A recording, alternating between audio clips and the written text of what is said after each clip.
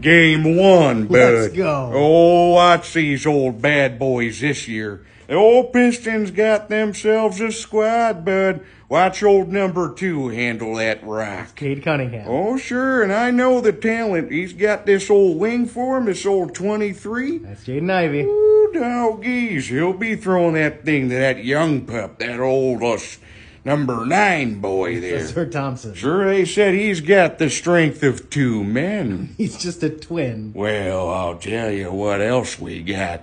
Four centers, bud. Watch the rebounds come our way. So why are you all dressed up? Um, already told the buddies we're headed down to see these old Pistons. Down to Miami? It's an away game.